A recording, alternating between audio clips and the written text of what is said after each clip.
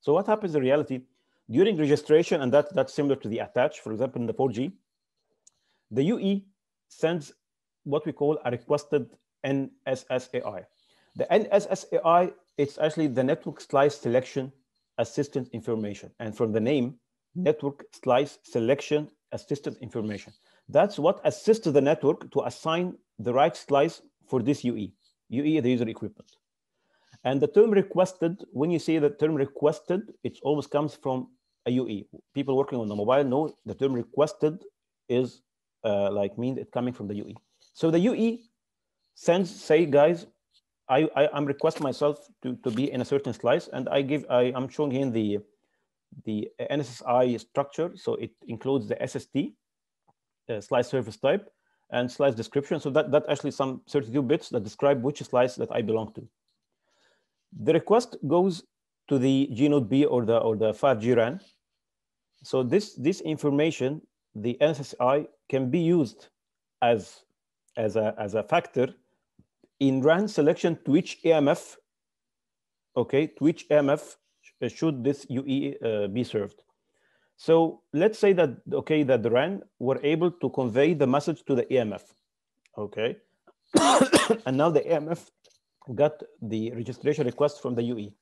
First thing it does, it go to the UDM, similar to HSS in 4G, and ask the UDM for please tell me what is the subs subscribed NSSI for this UE. So this UE is allowed to use which slices. Okay. For example, if, if I want to slice five, but the only allowed subscribed for me is three and four, then my, my request will be rejected.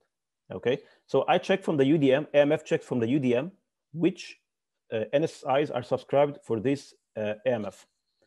Next up, for some reasons, if, if the AMF itself cannot serve this slice, or for example, the UE requested a certain slice like five, and the AMF is not the one serving this slice, so it can consult the NSSF, network slice selection function, that please tell me which AMF should, should serve this UE.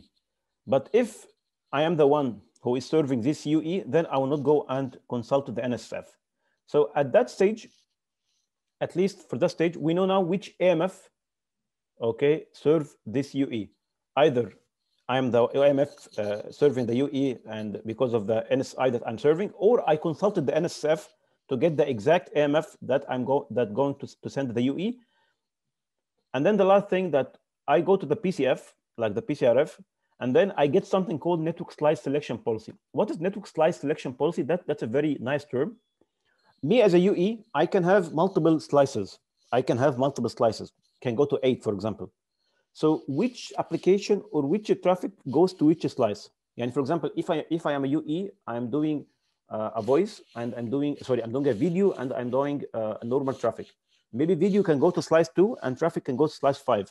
So what, what, what governs that is actually the network slice selection policy by PCF. It, it, instructs the AMF to which uplink, to which slice, which traffic should go. Okay. So at that stage on the registration, I finish the call flow by being able to dedicate this AMF for the UE. Now we know that UE in slice five is served by this AMF. So what is what is left? What is left is actually when the UE is trying to establish a session a PDU, to assign the right SMF and UPF to this UE. And that happens in the PDU session establishment. That's a, a post process after registration. UE send a PDU session establishment request. I, as a UE, I want to do a session. And that goes to the AMF. Now the AMF, it, it is, is in doubt because it wants, it wants to select the right SMF for this UE the SMF that exists on the slice assigned for this UE. So it goes, it goes again to, NS, to NSF and ask NSF, please, I need to select the SMF. So NSF, as you see, it replies with NRF for service selection. NRF, in a very simple definition, maybe it's not a, a really right one, but I, I, I, can use it. NRF, you can consider it as a DNS. So NSF instructed the AMF, please go to NRF with, with the slice indication. And then NRF will give you the right SMF to serve this customer. And that happens after consulting the NRF. So AMF can, can easily now select the SMF. And then SMF, with the same logic, it goes to NRF. And as per the standard, with the, with the slice ID or the, the NSSAI, it can select the UPF. So UPF now is selected. So you see that AMF, SMF, UPF selection can be based on the slicing information. So it's, it's, there is a framework in the standards to select the slice for the UE, either it's AMF, SMF, UPF, based on slice information. Is this the last thing? No, there is a very uh, detailed point that when I say RAN, for example, RAN in 5G, that's the G node B, but G node B in reality, it, it consists of, of a CU and DU, right? Central unit and distributed unit. And the CU, they have, they, there can be multiple CU user plane. So in, in reality, there are multiple CU user plane can serve or can exist in one G B. So what happens in, in reality or in, as, as the end of this call flow, when the UPF send, uh, send like some sort of positive outcome to SMF, to AMF, in, in, the, in, in the process to AMF, in the message called initial context setup request, in this message, there is a slice information. There is a slice information. So even the RAN, even the RAN can do a user plane selection of the CPUP based on slice.